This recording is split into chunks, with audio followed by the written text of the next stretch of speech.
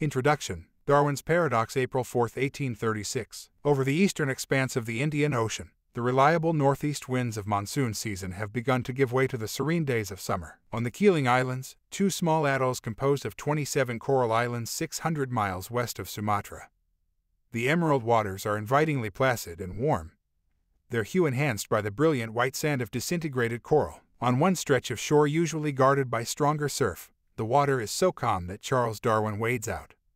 Under the vast blue sky of the tropics, to the edge of the live coral reef that rings the island. For hours he stands and paddles among the crowded pageantry of the reef. 27 years old, 7,000 miles from London, Darwin is on the precipice, standing on an underwater peak ascending over an unfathomable sea. He is on the edge of an idea about the forces that built that peak, an idea that will prove to be the first great scientific insight of his career. And he has just begun exploring another hunch, still hazy and unformed, that will eventually lead to the intellectual summit of the 19th century. Around him, the crowds of the coral ecosystem dart and shimmer. The sheer variety dazzles butterfly fish, damselfish, parrotfish, Napoleon fish, angelfish, golden anthias feeding on plankton above the cauliflower blooms of the coral, the spikes and tentacles of sea urchins and anemones. The tableau delights Darwin's eye, but already his mind is reaching behind the surface display to a more profound mystery. In his account of the Beagle's voyage, published four years later, Darwin would write, it is excusable to grow enthusiastic over the infinite numbers of organic beings with which the sea of the tropics, so prodigal of life, teems, yet I must confess I think those naturalists who have described,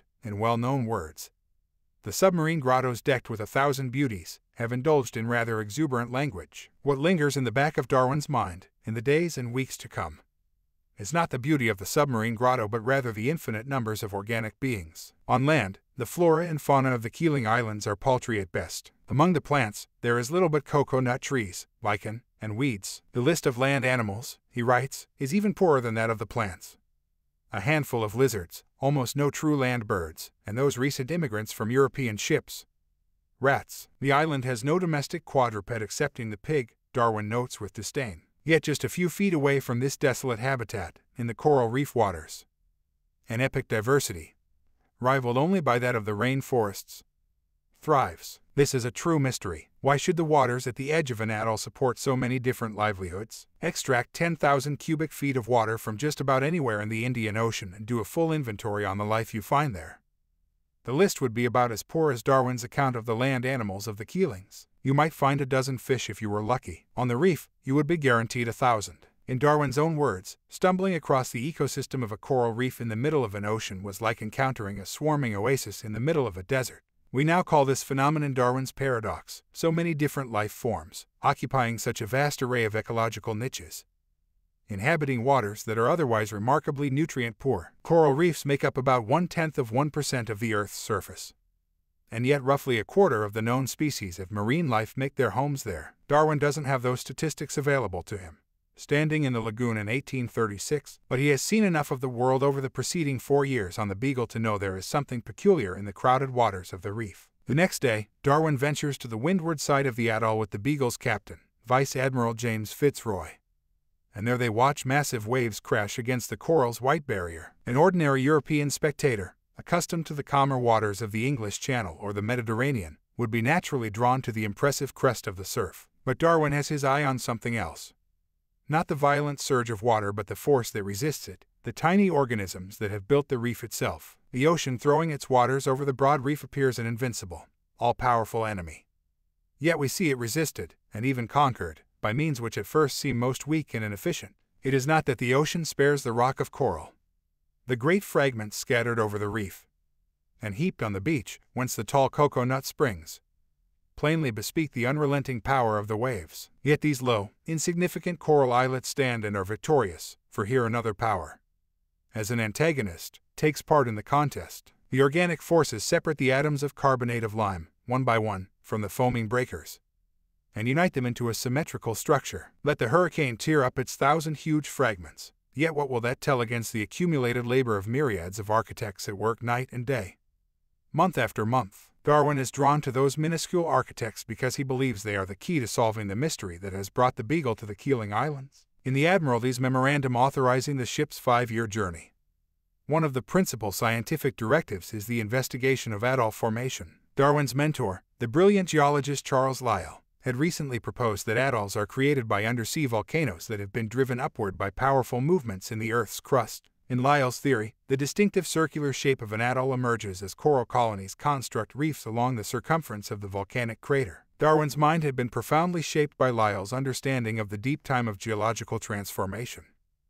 But standing on the beach, watching the breakers crash against the coral, he knows that his mentor is wrong about the origin of the atolls. It is not a story of simple geology, he realizes. It is a story about the innovative persistence of life. And as he mulls the thought, there is a hint of something else in his mind, a larger, more encompassing theory that might account for the vast scope of life's innovations. The forms of things unknown are turning, slowly, into shapes. Days later, back on the Beagle, Darwin pulls out his journal and reflects on that mesmerizing clash between surf and coral, presaging a line he would publish 30 years later in the most famous passage from On the Origin of Species.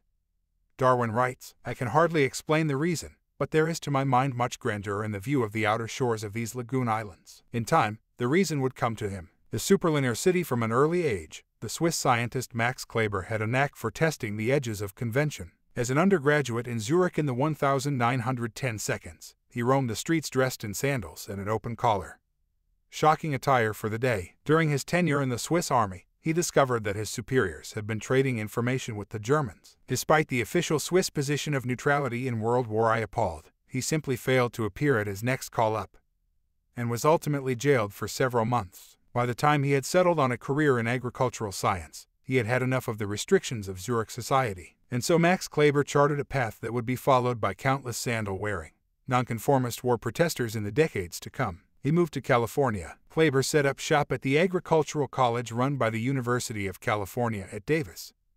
In the heart of the fertile Central Valley, his research initially focused on cattle, measuring the impact body size had on their metabolic rates the speed with which an organism burns through energy. Estimating metabolic rates had great practical value for the cattle industry because it enabled farmers to predict with reasonable accuracy both how much food their livestock would require and how much meat they would ultimately produce after slaughter. Shortly after his arrival at Davis, Kleiber stumbled across a mysterious pattern in his research.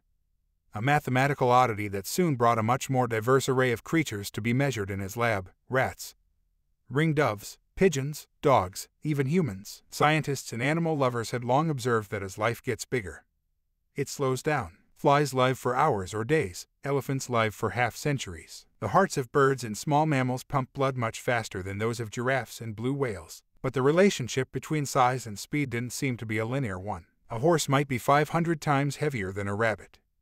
Yet its pulse certainly wasn't 500 times slower than the rabbit's. After a formidable series of measurements in his Davis lab, Kleiber discovered that this scaling phenomenon stuck to an unvarying mathematical script called negative quarter power scaling. If you plotted mass versus metabolism on a logarithmic grid, the result was a perfectly straight line that led from rats and pigeons all the way up to bulls and hippopotami. Physicists were used to discovering beautiful equations like this lurking in the phenomena they studied, but mathematical elegance was a rarity in the comparatively messy world of biology. But the more species Kleiber and his peers analyzed, the clearer the equation became metabolism scales to mass to the negative quarter power. The math is simple enough. You take the square root of 1000, which is 31, and then take the square root of 31, which is 5.5. This means that a cow, which is roughly a thousand times heavier than a woodchuck, will, on average, live 5.5 times longer and have a heart rate that is 5.5 times slower than the woodchuck's. As the science writer George Johnson once observed,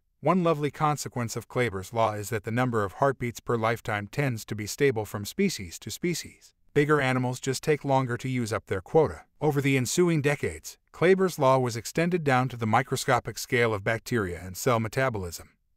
Even plants were found to obey negative quarter power scaling in their patterns of growth. Wherever life appeared, whenever an organism had to figure out a way to consume and distribute energy through a body, negative quarter power scaling governed the patterns of its development. Several years ago, the theoretical physicist Geoffrey West decided to investigate whether Kleiber's law applied to one of life's largest creations the superorganisms of human built cities. Did the metabolism of urban life slow down as cities grew in size? Was there an underlying pattern to the growth and pace of life of metropolitan systems? Working out of the legendary Santa Fe Institute, where he served as president until 2009, West assembled an international team of researchers and advisors to collect data on dozens of cities around the world, measuring everything from crime to household electrical consumption, from new patents to gasoline sales. When they finally crunched the numbers, West and his team were delighted to discover that Kleiber's negative quarter power scaling governed the energy and transportation growth of city living. The number of gasoline stations, gasoline sales, road surface area,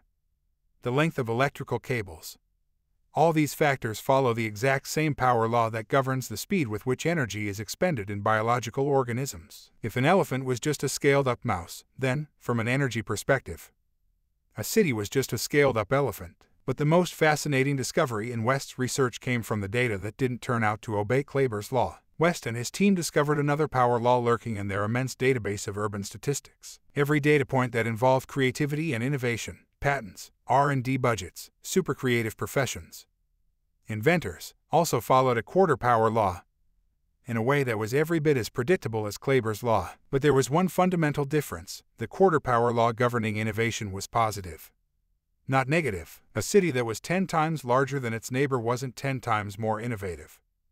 It was 17 times more innovative. A metropolis 50 times bigger than a town was 130 times more innovative. Kleiber's law proved that as life gets bigger, it slows down. The West's model demonstrated one crucial way in which human built cities broke from the patterns of biological life. As cities get bigger, they generate ideas at a faster clip. This is what we call superlinear scaling, if creativity scaled with size in a straight, linear fashion. You would, of course, find more patents and inventions in a larger city, but the number of patents and inventions per capita would be stable. West's power laws suggested something far more provocative that despite all the noise and crowding and distraction, the average resident of a metropolis with a population of 5 million people was almost three times more creative than the average resident of a town of 100,000. Great cities are not like towns only larger, Jane Jacobs wrote nearly 50 years ago. West's positive quarter power law gave that insight a mathematical foundation. Something about the environment of a big city was making its residents significantly more innovative than residents of smaller towns. But what was it? The 10 over 10 rule the first national broadcast of a color television program took place on January 1, 1954, when NBC aired an hour-long telecast of the Tournament of Roses parade and distributed it to 22 cities across the country. For those lucky enough to see the program, the effect of a moving color image on a small screen seems to have been mesmerizing. The New York Times, in typical language, called it a veritable bevy of hues and depth. To concentrate so much color information within the frame of a small screen, the Times wrote, would be difficult for even the most gifted artist doing a still painting. To do it with constantly moving pictures seemed pure wizardry. Alas, the Rose Parade broadcast turned out to be not all that broad, given that it was visible only on prototype televisions in RCA showrooms. Color programming would not become standard on primetime shows until the late 1960s. After the advent of color, the basic conventions that define the television image would go unchanged for decades. The delivery mechanisms began to diversify with the introduction of VCRs, cable in the late 1970s, but the image remained the same. In the mid 1980s, a number of influential media and technology executives, along with a few visionary politicians, had the eminently good idea that it was time to upgrade the video quality of broadcast television. Speeches were delivered, committees formed, experimental prototypes built but it wasn't until July 23, 1996, that a Raleigh, North Carolina, CBS affiliate initiated the first public transmission of an HDTV signal. Like the Tournament of Roses footage, though, there were no ordinary consumers with sets capable of displaying its wizardry when a handful of broadcasters began transmitting HDTV signals in 1999. But HD television didn't become a mainstream consumer phenomenon for another five years. Even after the FCC mandated that all television stations cease broadcasting the old analog standard on June 12, 2009, more than 10% of U.S. households had televisions that went dark that day. It is one of the great truisms of our time that we live in an age of technological acceleration. The new paradigms keep rolling in, and the intervals between them keep shortening. This acceleration reflects not only the flood of new products, but also our growing willingness to embrace these strange new devices and put them to use. The waves roll in at ever increasing frequencies, and more and more of us are becoming trained surfers, paddling out to meet them the second they start to crest. But the HDTV story suggests that this acceleration is hardly a universal law. If you measure how quickly a new technology progresses from an original idea to mass adoption, then it turns out that HDTV was traveling at the exact same speed that color television had traveled four decades earlier. It took 10 years for color TV to go from the fringes to the mainstream, two generations later. It took HD TV just as long to achieve mass success. In fact, if you look at the entirety of the 20th century, the most important developments in mass one to many communications clock in at the same social innovation rate with an eerie regularity. Call it the 10 over 10 rule, a decade to build the new platform, and a decade for it to find a mass audience. The technology standard of amplitude modulated radio, what we now call AM radio, evolved in the first decade of the 20th century. The first commercial AM station began broadcasting in 1920 but it wasn't until the late 1920s that radios became a fixture in American households. Sony inaugurated research into the first consumer videocassette recorder in 1969, but didn't ship its first Betamax for another seven years.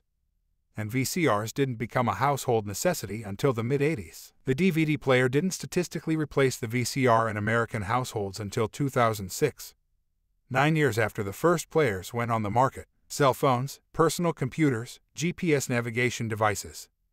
All took a similar time frame to go from innovation to mass adoption. Consider, as an alternate scenario, the story of Chad Hurley, Steve Chen, and Jawed Karim, three former employees of the online payment site PayPal, who decided in early 2005 that the web was ripe for an upgrade in the way it handled video and sound. Video, of course, was not native to the web, which had begun its life 15 years before as a platform for academics to share hypertext documents. But over the years, video clips had begun to trickle their way online, thanks to new video standards that emerged, such as QuickTime, Flash, or Windows Media Player. But the mechanisms that allowed people to upload and share their own videos were too challenging for most ordinary users. So Hurley, Chen, and Karim cobbled together a rough beta for a service that would correct these deficiencies raised less than $10 million in venture capital, hired about two dozen people, and launched YouTube, a website that utterly transformed the way video information is shared online.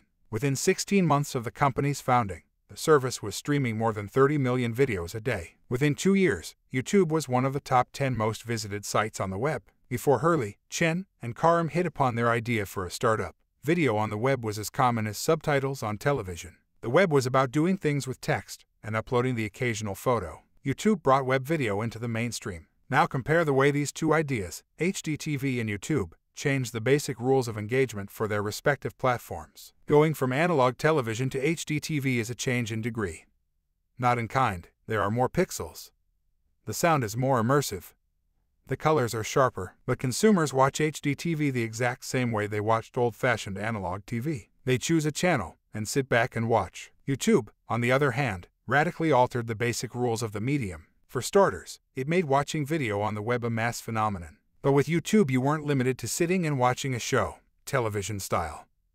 You could also upload your own clips, recommend or rate other clips, get into a conversation about them. With just a few easy keystrokes, you could take a clip running on someone else's site and drop a copy of it onto your own site. The technology allowed ordinary enthusiasts to effectively program their own private television networks, stitching together video clips from all across the planet. Some will say that this is merely a matter of software, which is intrinsically more adaptable than hardware like televisions or cellular phones. But before the web became mainstream in the mid 1990s, the pace of software innovation followed the exact same 10 over 10 pattern of development that we saw in the spread of other 20th century technologies. The graphical user interface, for instance, dates back to a famous technology demo given by pioneering computer scientist Doug Engelbart in 1968. During the 1970s, many of its core elements, like the now ubiquitous desktop metaphor, were developed by researchers at Xerox PARC, but the first commercial product with a fully realized graphical user interface didn't ship until 1981, in the form of the Xerox Star Workstation, followed by the Macintosh in 1984.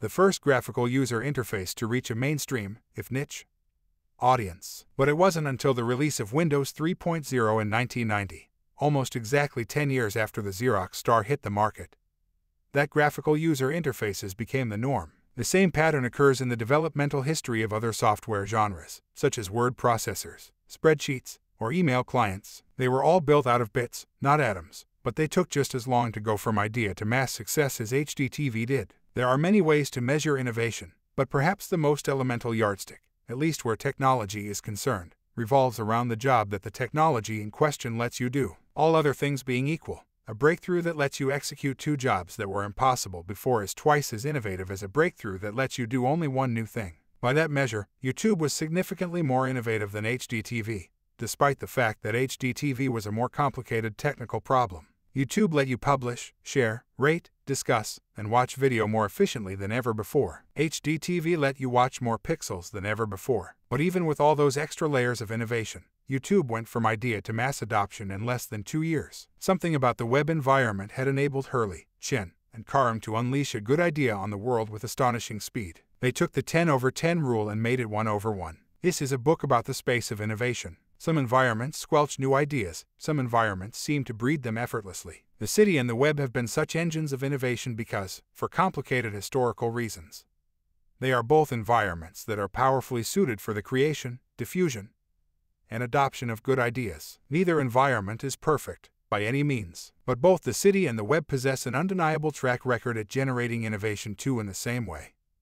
The myriad tiny architects of Darwin's coral reef create an environment where biological innovation can flourish. If we want to understand where good ideas come from, we have to put them in context. Darwin's world-changing idea unfolded inside his brain, but think of all the environments and tools he needed to piece it together. A ship, an archipelago, a notebook, a library, a coral reef. Our thought shapes the spaces we inhabit and our spaces return the favor. The argument of this book is that a series of shared properties and patterns recur again and again in unusually fertile environments. I have distilled them down into seven patterns, each one occupying a separate chapter. The more we embrace these patterns, in our private work habits and hobbies, in our office environments, in the design of new software tools, the better we will be at tapping our extraordinary capacity for innovative thinking. 3. These patterns turn out to have a long history much older than most of the systems that we conventionally associate with innovation. This history is particularly rich because it is not exclusively limited to human creations like the Internet or the metropolis. The amplification and adoption of useful innovation exist throughout natural history as well. Coral reefs are sometimes called the cities of the sea,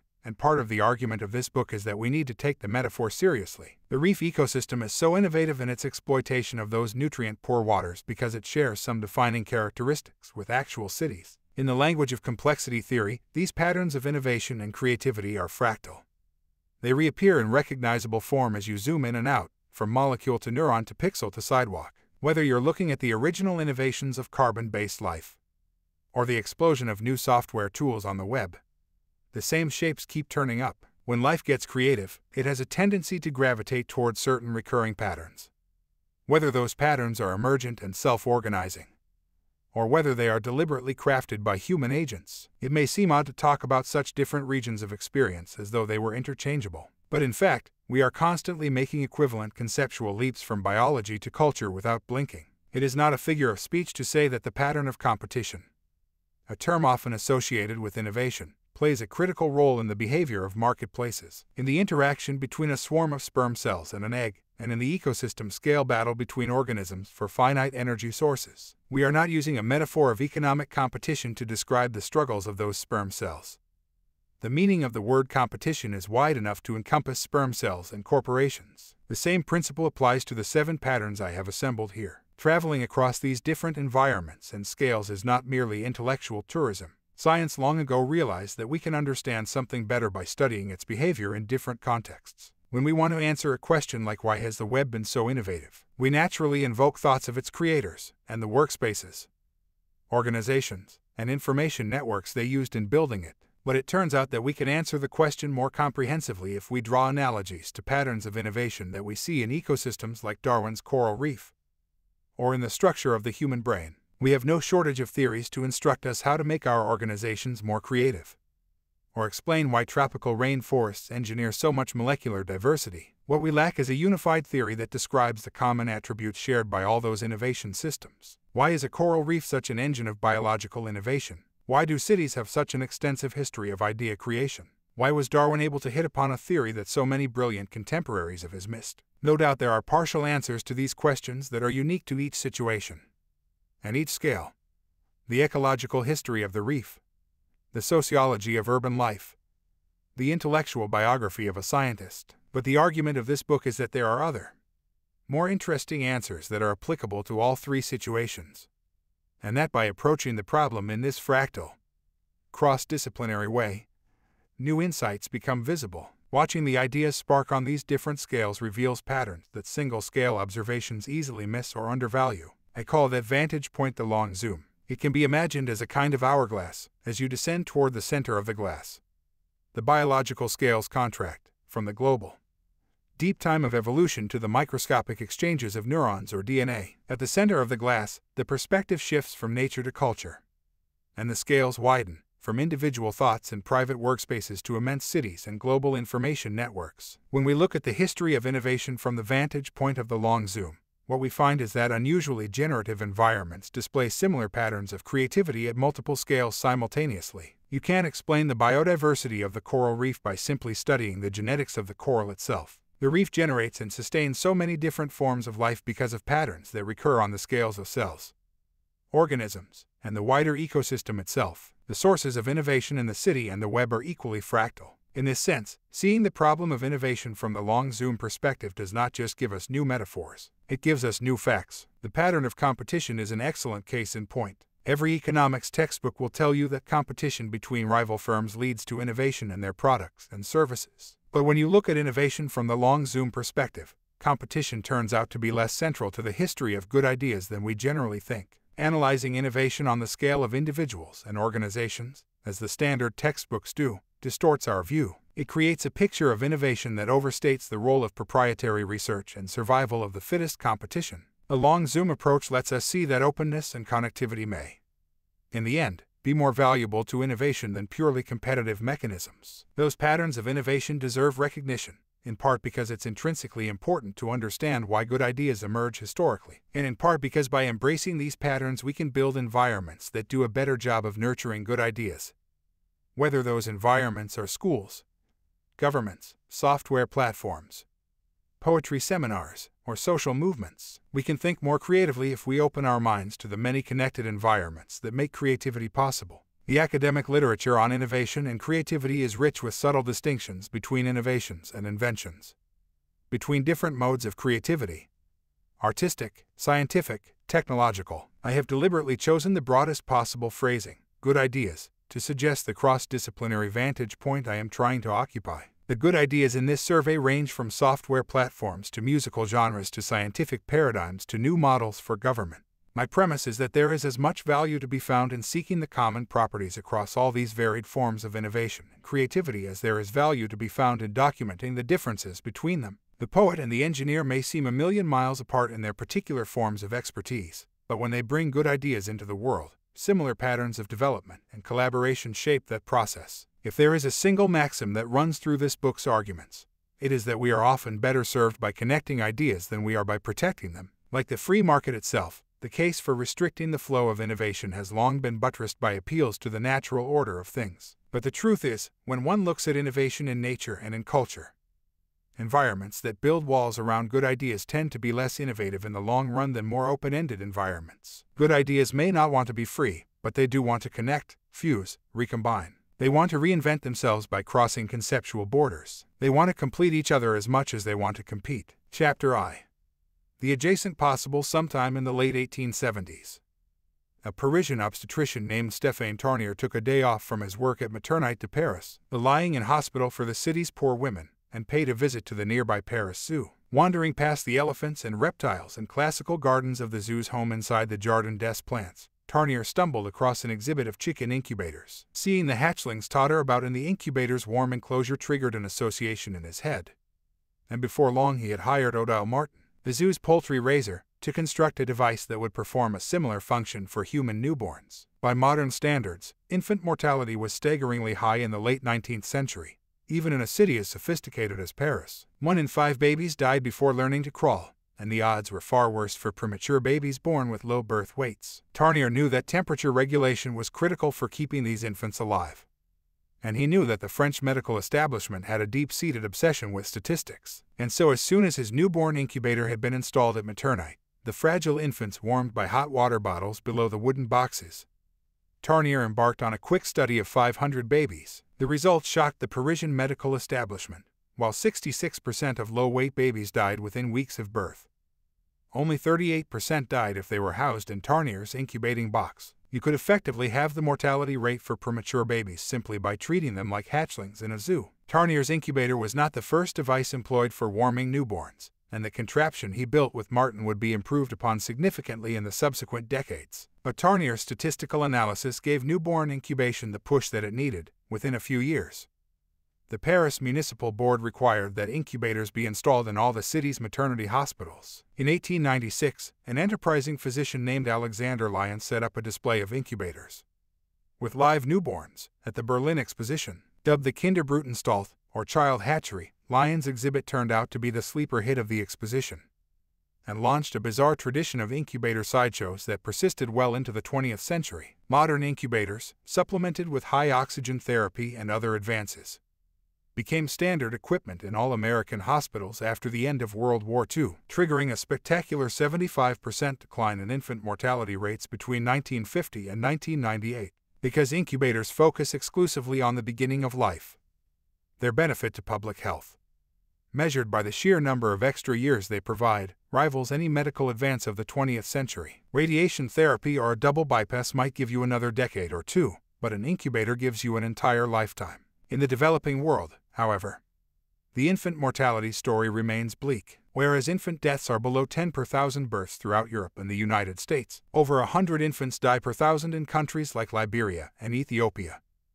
Many of them premature babies that would have survived with access to incubators. But modern incubators are complex, expensive things. A standard incubator in an American hospital might cost more than $40,000, but the expense is arguably the smaller hurdle to overcome. Complex equipment breaks, and when it breaks, you need the technical expertise to fix it. And you need replacement parts. In the year that followed the 2004 Indian Ocean tsunami, the Indonesian city of Meulaboh received eight incubators from a range of international relief organizations. By late 2008, when a MIT professor named Timothy Prestero visited the hospital, all eight were out of order, the victims of power surges and tropical humidity, along with the hospital staff's inability to read the English repair manual. The Meulaboh incubators were a representative sample. Some studies suggest that as much as 95% of medical technology donated to developing countries breaks within the first five years of use. Prestero had a vested interest in those broken incubators because the organization he founded, Design That Matters, had been working for several years on a new scheme for a more reliable and less expensive incubator one that recognized complex medical technology was likely to have a very different tenure in a developing world context than it would in an American or European hospital. Designing an incubator for a developing country wasn't just a matter of creating something that worked. It was also a matter of designing something that would break in a non catastrophic way. You couldn't guarantee a steady supply of spare parts or trained repair technicians. So instead, Prestero and his team decided to build an incubator out of parts that were already abundant in the developing world. The idea had originated with a Boston doctor named Jonathan Rosen, who had observed that even the smaller towns of the developing world seemed to be able to keep automobiles in working order. The towns might have lacked air conditioning and laptops and cable television, but they managed to keep their Toyota 4Runners on the road. So Rosen approached Prestero with an idea. What if you made an incubator out of automobile parts? Three years after Rosen suggested the idea, the Design That Matters team introduced a prototype device called the Neo Nurture. From the outside, it looked like a streamlined modern incubator.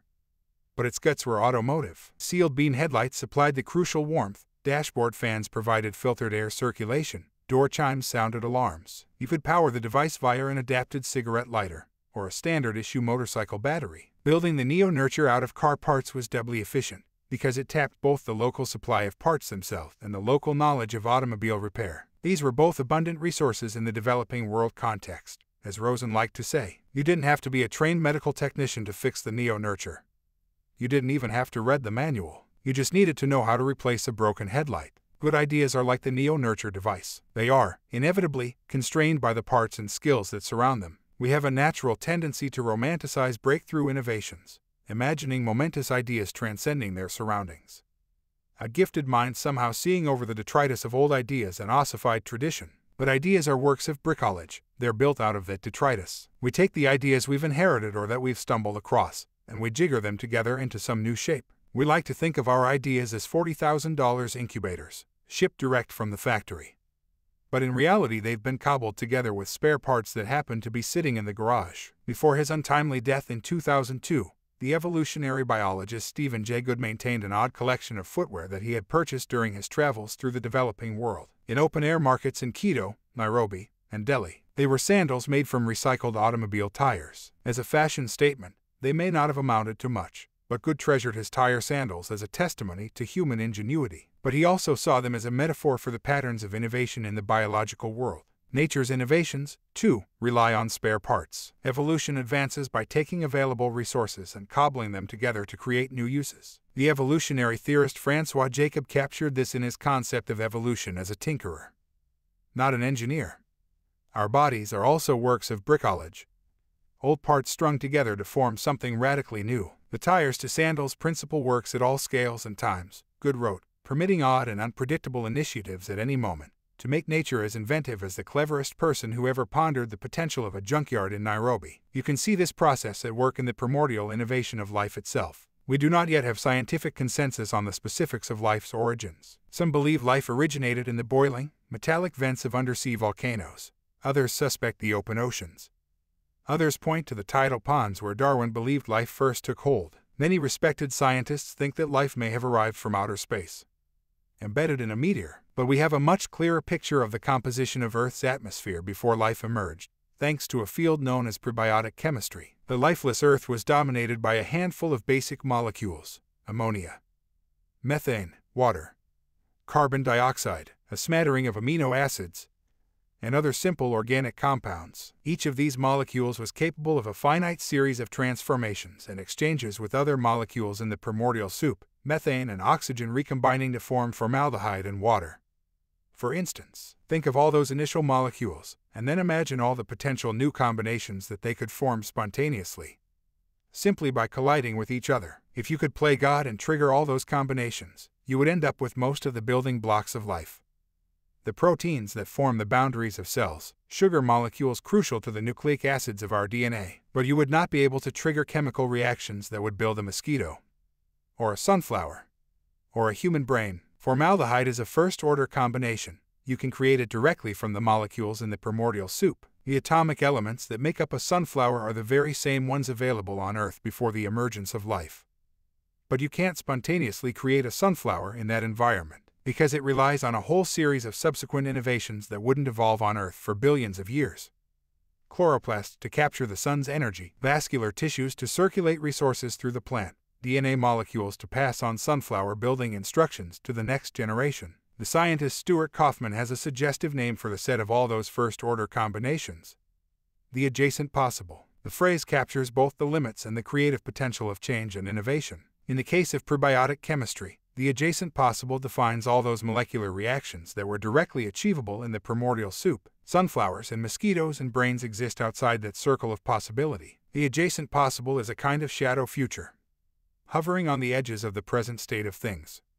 A map of all the ways in which the present can reinvent itself. Yet is it not an infinite space, or a totally open playing field? The number of potential first-order reactions is vast, but it is a finite number and it excludes most of the forms that now populate the biosphere. What the adjacent possible tells us is that at any moment the world is capable of extraordinary change, but only certain changes can happen. The strange and beautiful truth about the adjacent possible is that its boundaries grow as you explore those boundaries. Each new combination ushers new combinations into the adjacent possible. Think of it as a house that magically expands with each door you open. You begin in a room with four doors, each leading to a new room that you haven't visited yet. Those four rooms are the adjacent possible. But once you open one of those doors and stroll into that room, three new doors appear, each leading to a brand new room that you couldn't have reached from your original starting point. Keep opening new doors and eventually you'll have built a palace. Basic fatty acids will naturally self-organize into spheres lined with a dual layer of molecules, very similar to the membranes that define the boundaries of modern cells. Once the fatty acids combine to form those bounded spheres, a new wing of the adjacent possible opens up, because those molecules implicitly create a fundamental division between the inside and outside of the sphere. This division is the very essence of a cell. Once you have an inside, you can put things there. Food, organelles, genetic code. Small molecules can pass through the membrane and then combine with other molecules to form larger entities too big to escape back through the boundaries of the protocell. When the first fatty acids spontaneously formed those dual-layered membranes, they opened a door into the adjacent possible that would ultimately lead to nucleotide-based genetic code and the power plants of the chloroplasts and mitochondria. the primary inhabitants of all modern cells. The same pattern appears again and again throughout the evolution of life. Indeed, one way to think about the path of evolution is as a continual exploration of the adjacent possible. When dinosaurs such as the velociraptor evolved a new bone called the semilunate carpal, it enabled them to swivel their wrists with far more flexibility. In the short term, this gave them more dexterity as predators, but it also opened a door in the adjacent possible that would eventually lead, many millions of years later, to the evolution of wings and flight. When our ancestors evolved opposable thumbs, they opened up a whole new cultural branch of the adjacent possible. The creation and use of finely crafted tools and weapons. One of the things that I find so inspiring in Kauffman's notion of the adjacent possible is the continuum it suggests between natural and man made systems. He introduced the concept in part to illustrate a fascinating secular trend shared by both natural and human history. This relentless pushing back against the barricades of the adjacent possible Something has obviously happened in the past 4.8 billion years, he writes. The biosphere has expanded, indeed, more or less persistently exploded, into the ever expanding adjacent possible. It is more than slightly interesting that this fact is clearly true, that it is rarely remarked upon, and that we have no particular theory for this expansion. Four billion years ago, if you were a carbon atom, there were a few hundred molecular configurations you could stumble into. Today, that same carbon atom, whose atomic properties haven't changed one single nanogram, can help build a sperm whale or a giant redwood or an H1N1 virus, along with a near infinite list of other carbon-based life forms that were not part of the adjacent possible of prebiotic Earth. Add to that an equally formidable list of human concoctions that rely on carbon, every single object on the planet made of plastic, for instance, and you can see how far the kingdom of the adjacent possible has expanded since those fatty acids self-assembled into the first membrane. The history of life and human culture, then, can be told as the story of a gradual but relentless probing of the adjacent possible.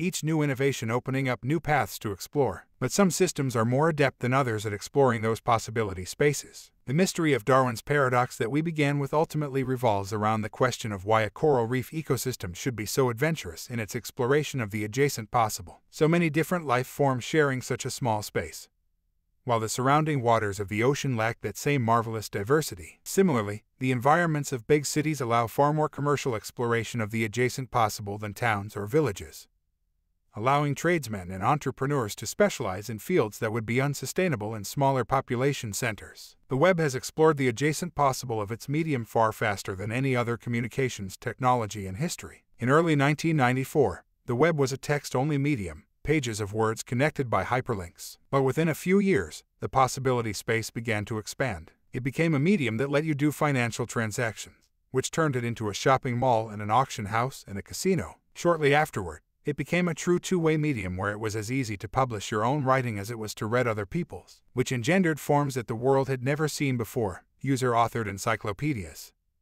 The blogosphere. Social network sites. YouTube made the web one of the most influential video delivery mechanisms on the planet.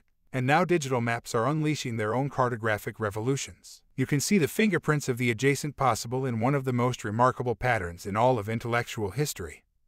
What scholars now call the multiple. A brilliant idea occurs to a scientist or inventor somewhere in the world, and he goes public with his remarkable finding only to discover that three other minds had independently come up with the same idea in the past year. Sunspots were simultaneously discovered in 1611 by four scientists living in four different countries. The first electrical battery was invented separately by Dean von Kleist, Cuneus of Leyden in 1745 and 1746. Joseph Priestley and Carl Wilhelm Scheele independently isolated oxygen between 1772 and 1774. The law of the conservation of energy was formulated separately four times in the late 1840s. The evolutionary importance of genetic mutation was proposed by S. Korschinsky in 1899 and then by Hugo de Vries in 1901, while the impact of X-rays on mutation rates was independently uncovered by two scholars in 1927. The telephone, telegraph, steam engine, photograph vacuum tube, radio, just about every essential technological advance of modern life has a multiple lurking somewhere in its origin story. In the early 1920s, two Columbia University scholars named William Ogburn and Dorothy Thomas decided to track down as many multiples as they could find, eventually publishing their survey in an influential essay with the delightful title Are Inventions Inevitable? Ogburn and Thomas found 148 instances of independent innovation, most of them occurring within the same decade. Reading the list now, one is struck not just by the sheer number of cases, but how indistinguishable the list is from an unfiltered history of big ideas. Multiples have been invoked to support hazy theories about the zeitgeist, but they have a much more grounded explanation. Good ideas are not conjured out of thin air. They are built out of a collection of existing parts, the composition of which expands over time. Some of those parts are conceptual, ways of solving problems, or new definitions of what constitutes a problem in the first place. Some of them are, literally, mechanical parts. To go looking for oxygen, Priestley and Scheele needed the conceptual framework that the air was itself something worth studying and that it was made up of distinct gases. Neither of these ideas became widely accepted until the second half of the 18th century, but they also needed the advanced scales that enabled them to measure the minuscule changes in weight triggered by oxidation. Technology that was itself only a few decades old in 1774. When those parts became available, the discovery of oxygen entered the realm of the adjacent possible. Isolating oxygen was, as the saying goes, in the air but only because a specific set of prior discoveries and inventions had made that experiment thinkable. The adjacent possible is as much about limits as it is about openings. At every moment in the timeline of an expanding biosphere, there are doors that cannot be unlocked yet. In human culture, we like to think of breakthrough ideas as sudden accelerations on the timeline, where a genius jumps ahead 50 years and invents something that normal minds, trapped in the present moment, couldn't possibly have come up with. But the truth is that technological advances rarely break out of the adjacent possible. The history of cultural progress is, almost without exception, a story of one door leading to another door, exploring the palace one room at a time. But of course, human minds are not bound by the finite laws of molecule formation, and so every now and then an idea does occur to someone that teleports us forward a few rooms, skipping some exploratory steps in the adjacent possible. But those ideas almost always end up being short term failures, precisely because they have skipped ahead. We have a phrase for those ideas, we call them ahead of their time. Consider the legendary analytical engine designed by 19th century British inventor Charles Babbage, who is considered by most technology historians to be the father of modern computing, though he should probably be called the great grandfather of modern computing because it took several generations for the world to catch up to his idea. Babbage is actually in the pantheon for two inventions, neither of which he managed to build during his lifetime. The first was his difference engine, a fantastically complex 15-ton contraption with over 25,000 mechanical parts, designed to calculate polynomial functions that were essential to creating the trigonometric tables crucial to navigation. Had Babbage actually completed his project, the difference engine would have been the world's most advanced mechanical calculator. When the London Science Museum constructed one from Babbage's plans to commemorate the centennial of his death, the machine returned accurate results to 31 places in a matter of seconds. Both the speed and precision of the device would have exceeded anything else possible in Babbage time by several orders of magnitude. For all its complexity, however, the difference engine was well within the adjacent possible of Victorian technology. The second half of the 19th century saw a steady stream of improvements to mechanical calculation many of them building on Babbage's architecture. The Swiss inventor Per Georg Scheutz constructed a working difference engine that debuted at the Exposition Universelle of 1855. Within two decades, the piano-sized Scheutz design had been reduced to the size of a sewing machine. In 1884, an American inventor named William S. Burroughs founded the American Arithmometer Company to sell mass-produced calculators to businesses around the country. Babbage's design for the difference engine was a work of genius. No doubt, but it did not transcend the adjacent possible of its day. The same cannot be said of Babbage's other brilliant idea.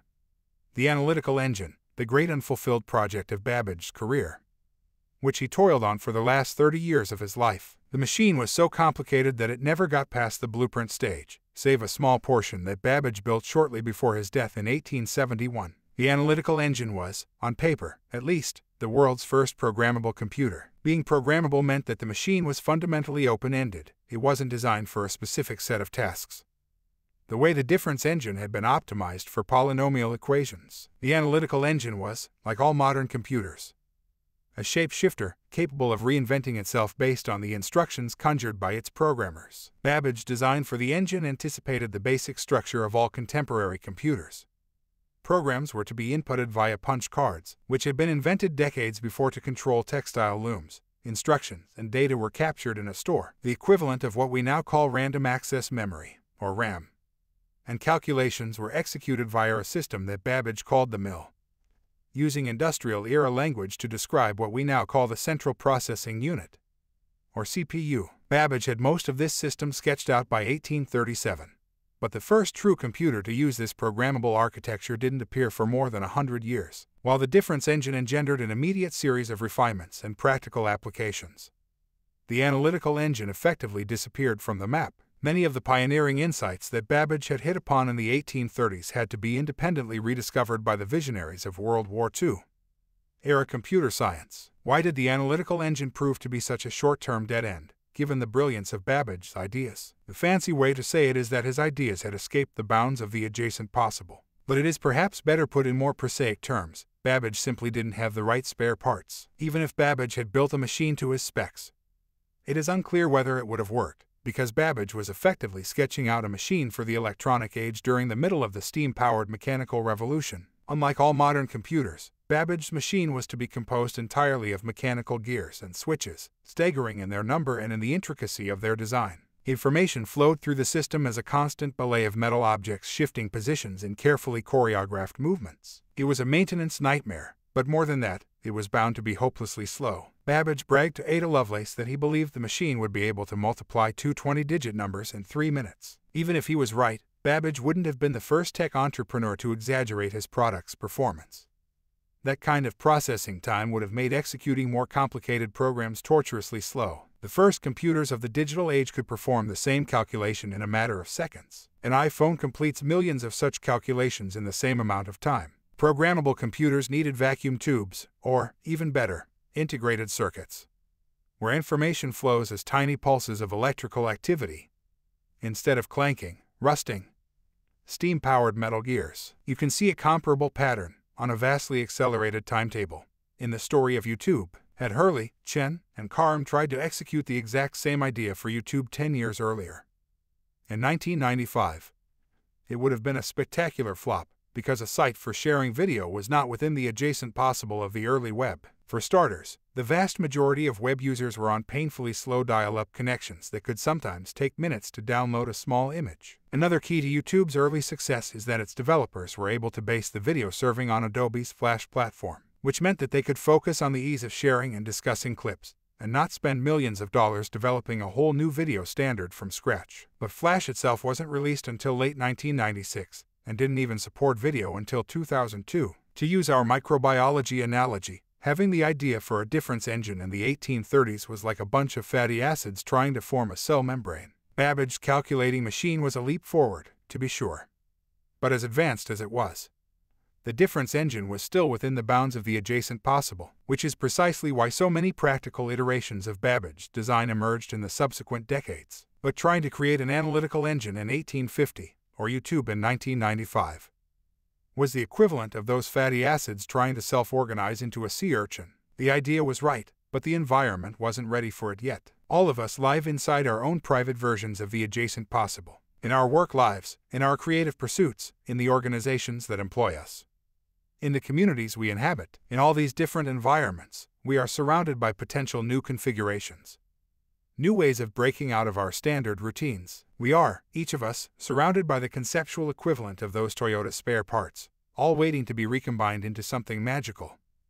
Something new. It need not be the epic advances of biological diversity, or the invention of programmable computing. Unlocking a new door can lead to a world-changing scientific breakthrough, but it can also lead to a more effective strategy for teaching second graders or a novel marketing idea for the vacuum cleaner your company is about to release. The trick is to figure out ways to explore the edges of possibility that surround you. This can be as simple as changing the physical environment you work in, or cultivating a specific kind of social network, or maintaining certain habits in the way you seek out and store information. Recall the question we began with what kind of environment creates good ideas? The simplest way to answer it is this Innovative environments are better at helping their inhabitants explore the adjacent possible because they expose a wide and diverse sample of spare parts, mechanical or conceptual.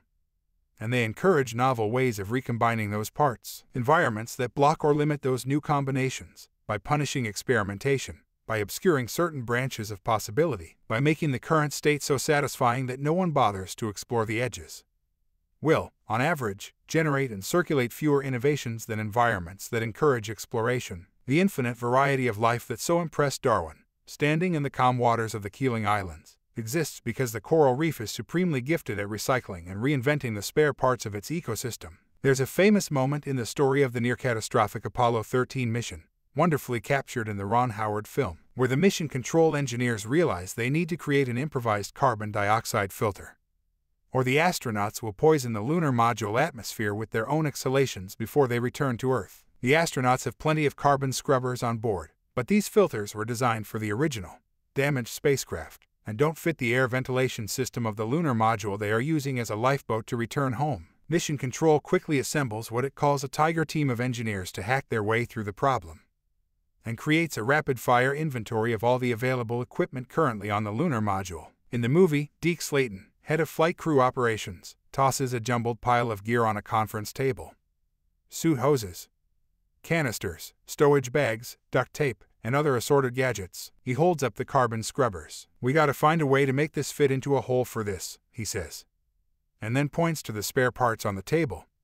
Using nothing but that, the space gear on the table defines the adjacent possible for the problem of building a working carbon scrubber on a lunar module. The device they eventually concoct, dubbed the mailbox, performs beautifully. The canisters and nozzles are like the ammonia and methane molecules of the early Earth, or Babbage mechanical gears, or those Toyota parts heating and incubator. They are the building blocks that create, and limit, the space of possibility for a specific problem. In a way, the engineers at Mission Control had it easier than most. Challenging problems don't usually define their adjacent possible in such a clear, tangible way. Part of coming up with a good idea is discovering what those spare parts are and ensuring that you're not just recycling the same old ingredients. This, then, is where the next six patterns of innovation will take us.